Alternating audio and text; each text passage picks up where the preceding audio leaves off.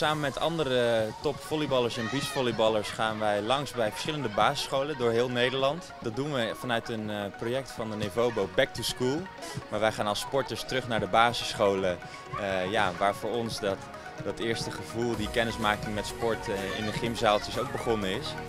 Naast het vertellen van in dit geval mijn verhaal, hoe dat voor mij is gegaan, is het ook een stukje over wat algemene normen en waarden als respect voor elkaar hebben, hoe ze moeten samenwerken. Het leukst vond ik dat hij naar Rio de Janeiro ging en dat hij daar zo uh, ging spelen tegen Brazilië. En dat iedereen voor Brazilië was en dat ze bijna hadden gewonnen, maar ze hadden toch verloren. Uh, ik vond het uh, vooral leuk hoe hij zijn, zijn leven heeft verteld. Ik vind ook de presentatie die het geeft, hij is ook niet verlegen voor ons. Als je in je hoofd een idee hebt en dat wil bereiken, dan is er echt heel veel mogelijk. En dat heeft Alex echt wel proberen te vertellen. Die diepere laag, dat, nou, daar hebben ze goed naar zitten luisteren en daar kunnen ze echt wel wat mee.